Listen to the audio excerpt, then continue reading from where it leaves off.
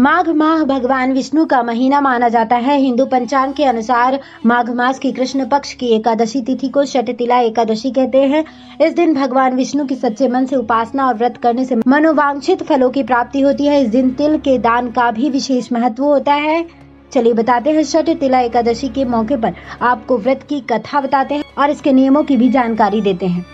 उपवास और अन्य नियम की बात करें तो यह व्रत निर्जला या फलाहारी दोनों प्रकार से रखा जाता है। अन्य या सामान्य लोगों को फलाहारी या जलीय उपवास रखना चाहिए। इस व्रत में तिल, स्नान तिल युक्त उबटन लगाना तिल युक्त जल और तिल युक्त आहार ग्रहण करना और तिल का दान जैसे छह कार्य ज़रूर करने चाहिए। मुक्ति और मोक्ष प्राप्त करने के लिए इस दिन गोबर, कपास और तिल का पिंड भी बनाया जाता है, उसका पूजन करके संध्या काल में उसी से हवन किया जाता है।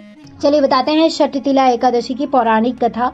हिंदू धर्म की मान्यताओं के मुताबिक एक बार नारद मुनि भगवान विष्णु के पास बैकुंठ पहुँचे और उन्होंने शटतिला एकादशी व्रत के महत्व के बारे में पूछा। तब भगवान विष्णु ने बताया कि प्राचीन काल में पृथ्वी पर एक ब्राह्मण की पत्नी रहती थी। उसके पति की मृत्यु हो चुकी थी। वह मेरी अनन्य भक्ति थी और श्रद्धा भाव से मेरी पूजा करती थी। एक बार उसने पूरे एक महीने उपवास रख कर मेरी आराधना की थी।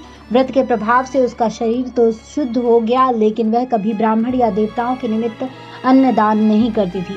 इसलिए मैंने सोचा कि यह स्त्री बैकुंठ में रहकर भी अतृप्त रहेगी।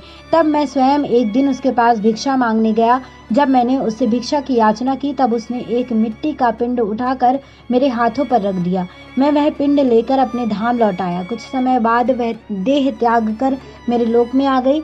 यहाँ उसे एक कुटिया और आम का पेड़ मिला। खाली कुटिया को देखकर वह घबरा कर मेरे पास आई और बोली कि मैं तो धर्म परायण हूँ। फिर मुझे खाली कुटिया क्यों मिली? तब मैंने उसे बताया कि यह अन्न दान नहीं करने और मुझे मिट्टी का पिंड देने से हुआ है।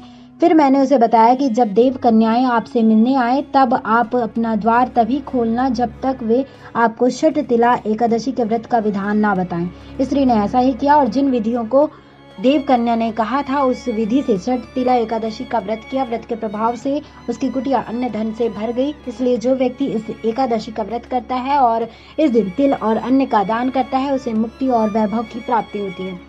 बता दें कि हमें पूरी जानकारी वेबसाइट अन्य जगहों से प्राप्त हुई है। ये जानकारी आपको कैसे लगी, आप हमें कमेंट बॉक्स में कमेंट कर ज़रूर बताएँ। नेक्स्ट स्पिरिचुअल से श्रुति